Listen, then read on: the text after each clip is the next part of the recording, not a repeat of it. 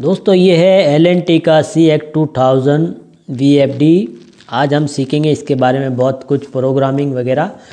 तो आइए वीडियो शुरू करते हैं और पसंद आने पे लाइक शेयर सब्सक्राइब ज़रूर करें L N T C act two thousand जैसे कि आप देख सकते हैं, इसके वी एफ़ डी पे दो बटन हैं ग्रीन और रेड बटन जो कि ग्रीन और रेड ग्रीन ऑन है और रेड है ऑफ़ ये की पैड से ऑपरेट करने के लिए है।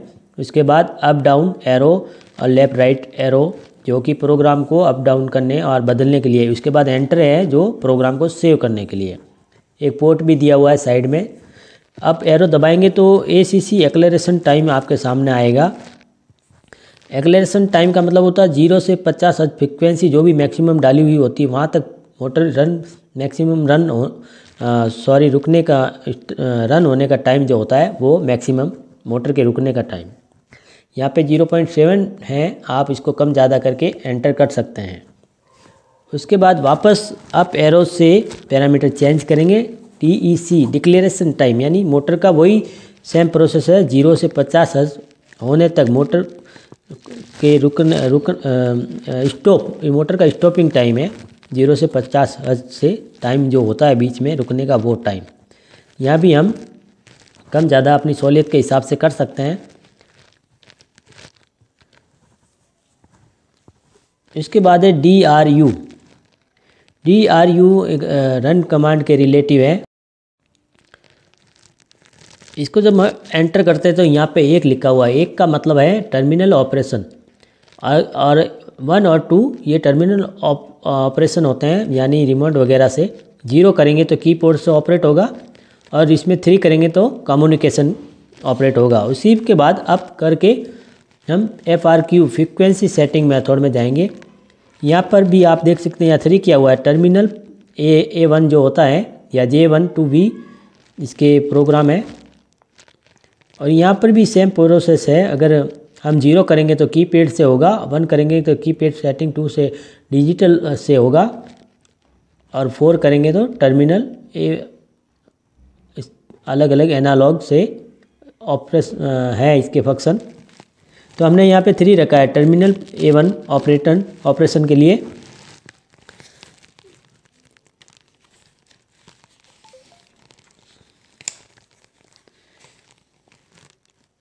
एफ़ आर क्यू के बाद में पैरामीटर आता है।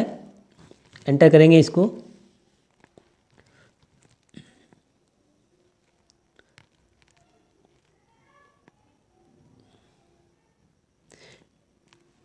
S T one S T one जो है मल्टी स्टेप फ्रिक्वेंसी का है। या डिफ़ॉल्ट सेटिंग जो होती है, वो ज़ीरो रहती है। बाकी हम, मैंने, मेरे हिसाब से यहाँ पे मल्टी स्टेप फ्रिक्वेंसी चार रखा है फोर रखा है। ये एक ही मोटर को अलग अलग स्पीड में चलाने के लिए मल्टी स्टेप फ्रिक्वेंसी हम यूज़ लेते हैं। S T one S T two S T three यहाँ पे आप देख सकते हैं बीस फ्रिक्वेंसी डाली हुई है।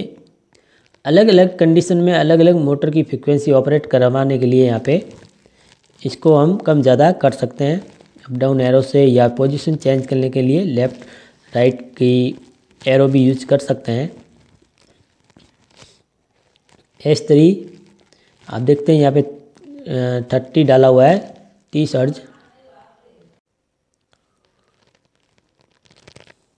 इसके बाद C R U C R U का मतलब है दोस्तों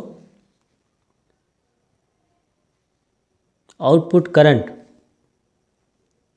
इसके बाद आरपीएम मोटर के आरपीएम जो होते हैं वो D C L D C link voltage यहाँ पे यहाँ पे आपको डी सी लिंक वोल्टेज डालना है। यूज़र डिस्प्ले सेलेक्शन नॉन का मतलब है fault display D R C का मतलब है direction of motor rotation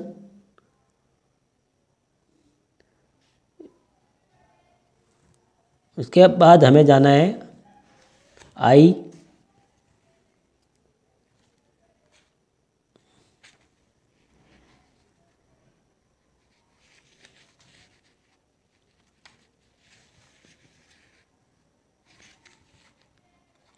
I twenty one I twenty one में हमने चार डाला हुआ है। फोर डाला हुआ है। आई ट्वेंटी वन में फोर का मतलब है जोग, ऑपरेशन, कमांड।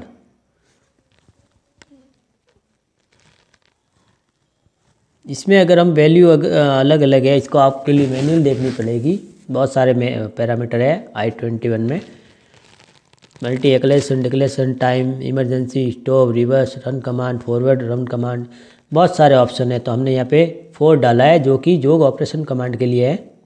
इसके बाद हम जाएँगे दोस्तों आई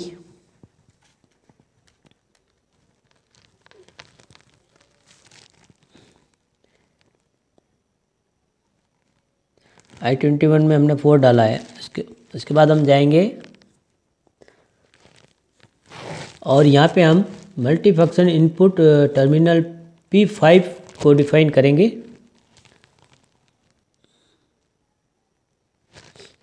आई टेन ये फ्रिक्वेंसी है। आई टेन जो है वो फ्रिक्वेंसी है। Input maximum volt voltage corporation frequency I twenty में multi function input terminal P four define के लिए हम यहाँ पे फाइव डालेंगे। फाइव जो है मल्टी स्टेप फ्रिक्वेंसी लो मतलब मिनिमम फ्रिक्वें कम फ्रिक्वेंसी के लिए इसका यूज़ करेंगे यहाँ पे हम।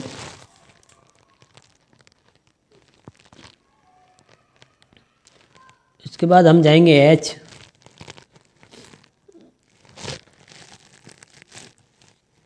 नाइन्टी फाइव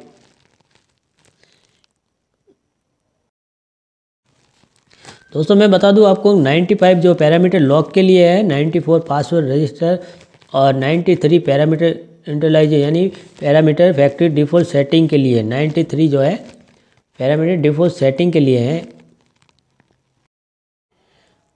तो इसके बाद हम जाएँगे एच नाइन्टी में।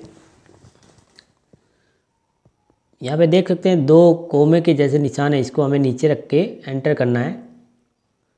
तो दोस्तों, वीडियो कैसे लगा आपको? पसंद आने पर शेयर लाइक ज़रूर करें और नए हैं तो सब्सक्राइब ज़रूर करें। इसके वायरिंग के बारे में भी मैंने वीडियो बनाए हुए हैं पैरामीटर पे के बारे में भी बनाए हुए हैं।